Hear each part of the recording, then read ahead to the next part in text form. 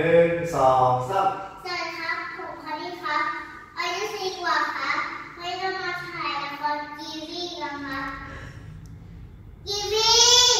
อาหูสับปะรดลิ้นจี่ครับแค่นี้แหละครับ สวัสดี สวัสดี สวัสดีครับเดี๋ยวขอ